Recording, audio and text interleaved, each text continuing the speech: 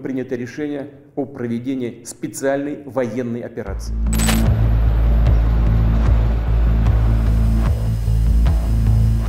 As of February 24, 2022, the onset of the Russian invasion of Ukraine, the Ukrainian military relied on Russian manufactured military equipment, much of which was outdated. Presently, they deploy advanced Western weaponry systems, such as the High Mobility Artillery Rocket System and anti-radar missiles. Over the past year, Ukraine has evolved into a technologically adept fighting force, skillfully integrating various levels of technology to support a unified strategy. In contrast, this conflict underscores that Russia, despite possessing contemporary technology and weaponry, seems unlikely to leverage its apparent technological edge. So, the question arises why doesn't Russia use its top tier weapons against Ukraine?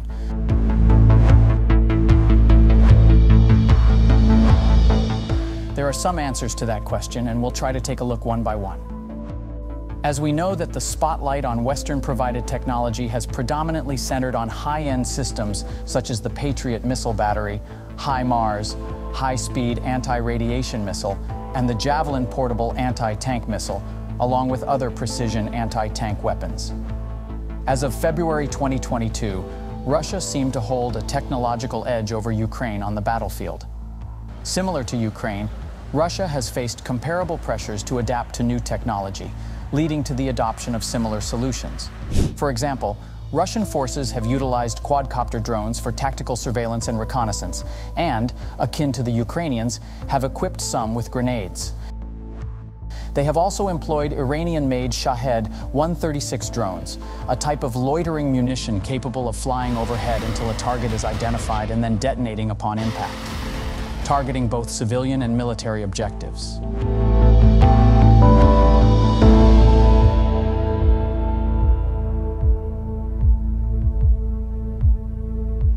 Despite the considerable size of its arsenal, Russian forces have failed to effectively leverage their technological advantage. Instead, Russia has opted for mid-level technology, showing hesitation to deploy its most advanced weapon systems, such as the formidable Su-57 fighter jet or the T-14 Armata tank, which was only recently introduced in Ukraine.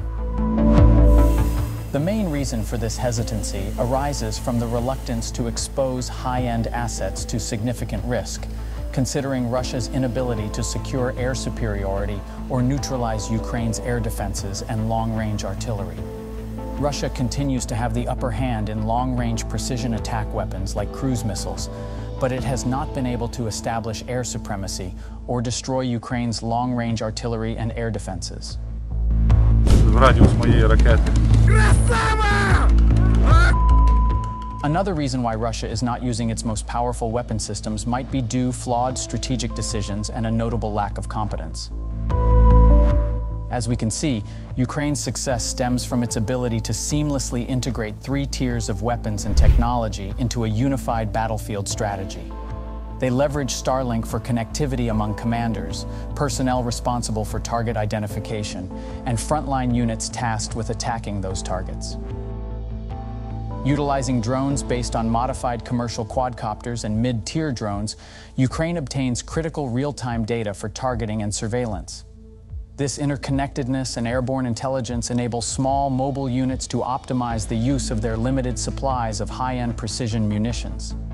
Ukraine's integration and utilization of this diverse array of technology and capabilities present a sharp contrast to Russia's approach to technology.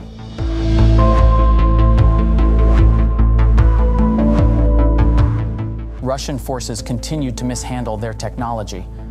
For instance, in a report earlier this year, the Center for Strategic and International Studies concluded that Russian missile attacks in 2022 inflicted significant damage on Ukraine's economy and infrastructure. However, these attacks fell short of achieving the decisive strategic effects that Moscow presumably intended. This therefore imparts a crucial lesson for the West. The mere possession of cutting-edge technology and high-tech weaponry does not guarantee military success.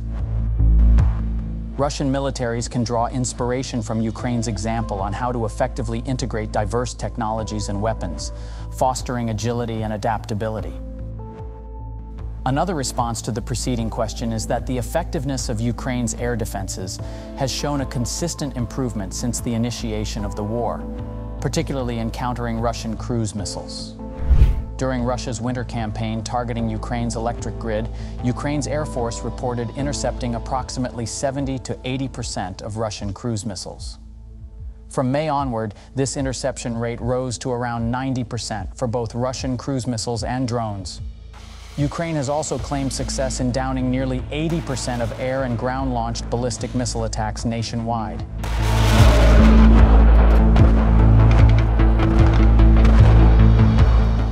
Is also important to note that Russia has used some of its most advanced and expensive missiles in a failed bid to destroy one of Ukraine's U.S. German provided Patriot batteries protecting Kiev. However, this strategy misfired, as the Patriot battery emerged nearly unharmed. Reports indicate that the Patriot battery successfully intercepted 100% of the 34 Iskander and Kinzhal quasi-ballistic missiles fired by Russia at Kiev as of June 28th. These were missiles that Moscow had previously boasted as impervious to air and missile defenses. Besides that, Getting more adaptive to the conflict, Ukraine claims to have successfully shot down six Ka-52s and one Mi-24 attack helicopter, Russian high-performance combat helicopters, since June 16th. Additionally, during a mutiny by Wagner forces, as many as seven Russian helicopters, including one Ka-52, were reportedly shot down. It is worth noting that Russia's attack helicopters are not in abundance. They initiated the war with around 150 Ka-52s, and it is doubtful that all were mission capable. UK Defense Intelligence estimated in October 2022 that Russia had no more than 90 Ka-52s in service at the war's onset. According to visual analysis by independent observers and reports from the Ukrainian Air Force, Russia may have lost up to 60 Ka-52s since the beginning of the conflict due to enemy fire and accidents. While the challenges posed by the Ka-52 losses are not unsolvable, the sustained rate of losses suggests that Russia's attack helicopter force may struggle to maintain its effectiveness. For these reasons, Russia is being more cautious in deploying its most potent weapons against Ukraine.